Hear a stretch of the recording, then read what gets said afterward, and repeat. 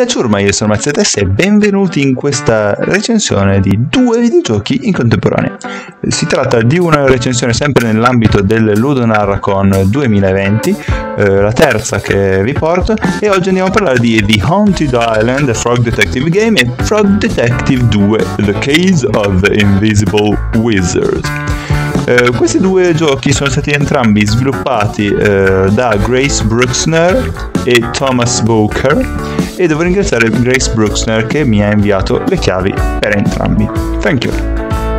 Allora, questi titoli eh, mi è capitato più volte di trovarli su Steam, eh, o suggeriti o in sconto.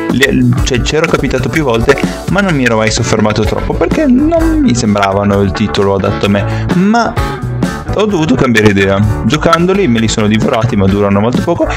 E eh, sono costruiti su una base di nonsense eh, che suscita ilarità che è così mh, mm, generico e simpatico e ben fatto, frizzante, che questo è adatto un po' per tutti i tipi di giocatori, un po' per tutte le età. È qualcosa di molto leggero, ovviamente, per cui va bene di sicuro per dei bambini, per un pubblico molto giovane, però non soltanto, non è solo da limitarsi a quel determinato pubblico, perché eh, può risultare interessante, può risultare simpatico un po' per tutti i giocatori. Si tratta di due casi appunto molto semplici, due indagini di questo detective Rana.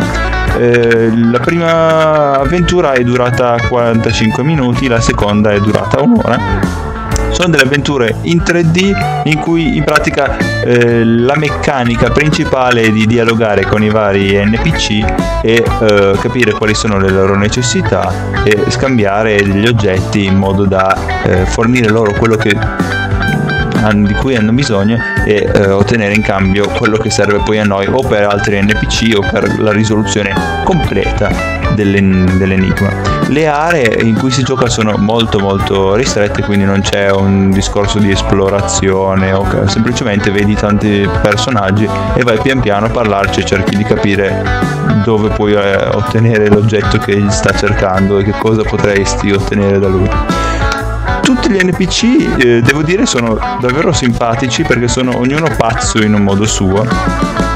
Per cui ognuno ha qualche strana fisima mentale e qualche eh, scompenso che lo porta ad essere assurdo e a rivolgersi alla rana in modo assurdo eh, ma appunto proprio perché ha questa situazione di nonsense e di hilarità molto spesso tra l'altro il detective eh, rana eh, reagisce prendendo in giro velatamente l'interlocutore con cui sta parlando in modo proprio da rendere ancora più palese con eh, appunto del sarcasmo quanto questa situazione sia carica di nonsense ehm, lo stile artistico che caratterizza entrambi i giochi è molto buffo e devo dire che inizialmente con questo suo essere un po' infantile mi aveva un po' scoraggiato perché pensavo che fosse appunto un titolo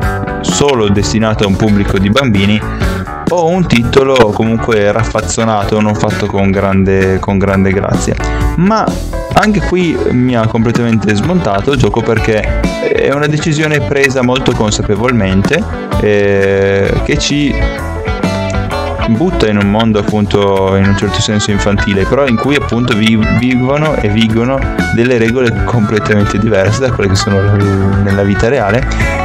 E in più eh, in alcune situazioni come in particolare per le animazioni dei personaggi in alcune situazioni molto particolari si può proprio vedere che non è una cattiva abilità o una mancanza di abilità dal lato artistico ma è proprio una scelta ehm, portata a termine molto brillantemente.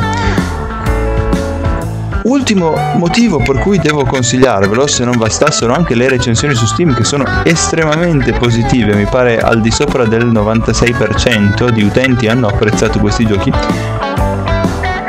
e dubito che in tutti quelli fossero semplicemente dei bambini, costano assolutamente pochissimo. A prezzo pieno costano poco più di 3 euro l'uno e c'è anche un bundle già su Steam in cui si può comprare il primo e il secondo eh, episodio di, queste, di, questi giochi.